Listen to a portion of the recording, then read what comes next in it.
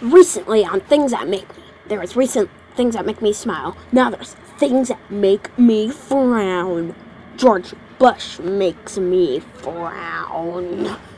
Killer giant bunnies make me frown.